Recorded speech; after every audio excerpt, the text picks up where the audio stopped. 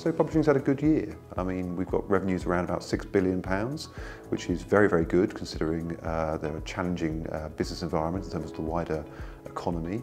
Uh, we've seen some really good growth areas um, for some parts of the industry, but also some, some other aspects of the industry are finding things more difficult at the moment. So um, the, the key, I think, is to look at longer term trends, and over the last five years, we're up about 20% overall.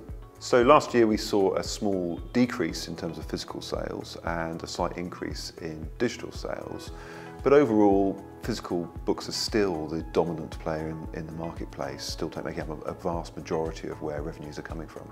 So uh, there's a very optimistic picture in certain parts of the um, book market. We're seeing non-fiction continuing to uh, be a very dominant part of um, uh, trade publishing, consumer publishing.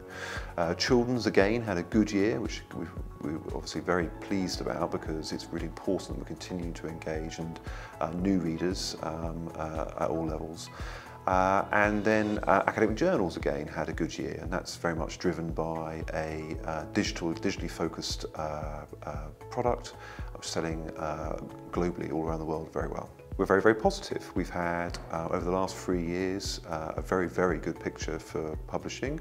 Obviously, we're concerned about any changes that happen uh, in terms of our trading um, uh, relationships around the world, uh, because the industry is reliant upon those, upon those links, and we're watching carefully about what happens on that. But uh, within our industry, we remain very optimistic about the prospects. We continue to have the right mix of talent, creativity, new ideas, new products to make sure we continue to succeed.